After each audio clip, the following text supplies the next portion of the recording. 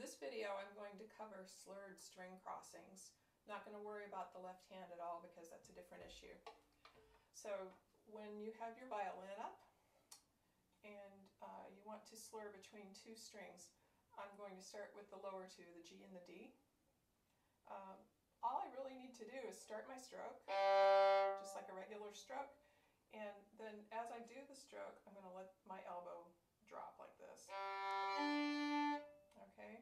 Notice that I'm letting my elbow decide what level my bow is on. And then to go back to the G string from the D string, I lead sort of with this part of my arm. Okay, let's do that again. If you look at the shape my hand is doing in the air, you can see that it's a curve. It's like I'm drawing part of a circle. But the, the real thing to note is, is that the elbow is initiating the down bow and the upper arm is initiating the up bow. Here's what it looks like if there's a mistake. Sometimes people are tempted to push their bow with their hand to the right string and it looks like this. Did you see that jerk in my bow? It's angular. Here's what, here's what it is if I'm leading with my hand. You see the bow jumps. If I'm leading with my elbow, it's a smooth motion. Let's do the same thing. Here is the D and A string.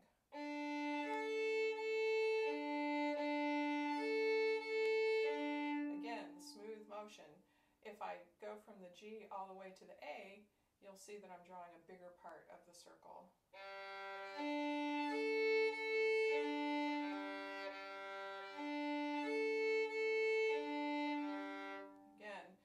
Did it with my hand, here's what it would look like. Watch for the, the jerky angle. You can see the jump. Okay, that's what we don't want. Going from the A to the E string is a little trickier because of the curve of the bridge. You have to be really aware that you want to keep that curve.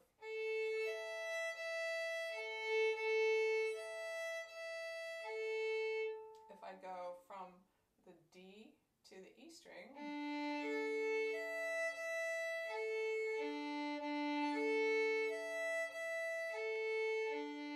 There was a tiny little jump in there because I was thinking about the next thing I was going to tell you.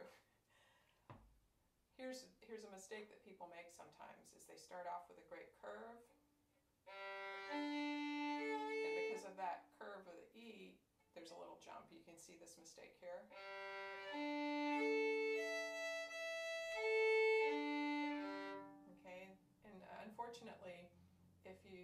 Jerk your bow over to the E string, it really pops out, so you want to keep it nice and smooth.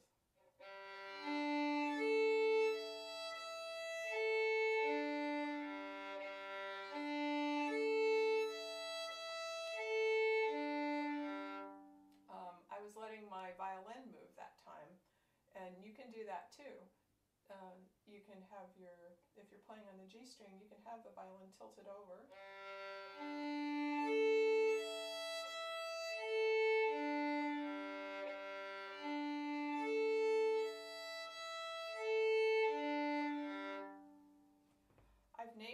These rainbows, this kind of uh, string crossing, because the curve looks a little bit like a rainbow. Actually, it looks more like the outside of a circle, but I like to call them rainbows. So you have two strings.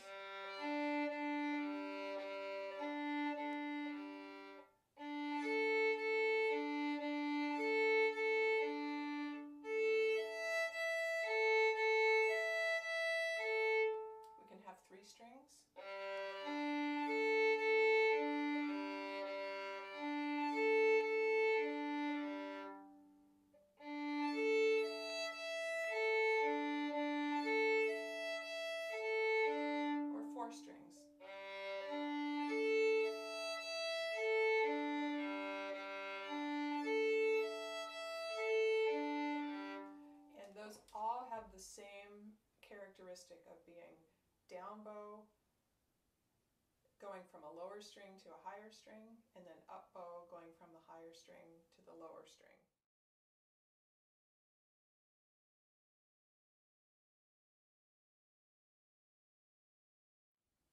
The opposite uh, has a different part of the curve that we talked about.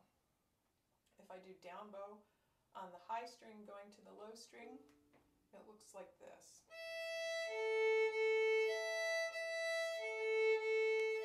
If we had an imaginary circle, I'm working on the bottom part of the circle now.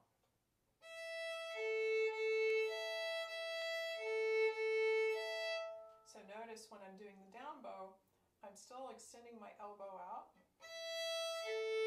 And then the up bow, I'm still leading with this part. It's a little bit like I'm scooping ice cream there. I like to call these smileys because I think it looks a little bit like this smile on a smiley face.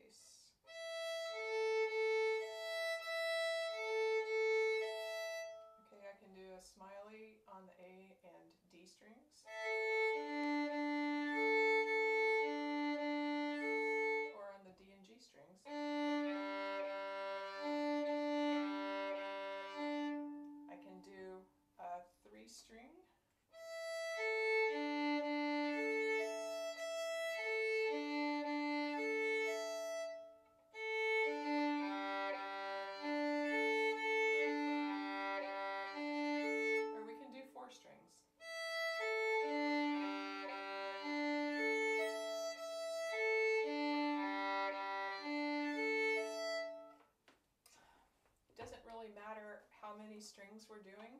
If we have down bow on the upper string going to a lower string, and then up bow on the lower string going to a higher string. It's, um, it's that motion. And I should clarify that by higher, I mean higher pitch. Okay, That is the smiley motion, and this is the rainbow motion. If you're ever working on a slurred string crossing, and you find that it's just not smooth, this is your go-to place to look. It's probably uh, in the motion that you're using to change strings. If you would like my handout on rainbows and smileys, check in the links below. Thanks for watching.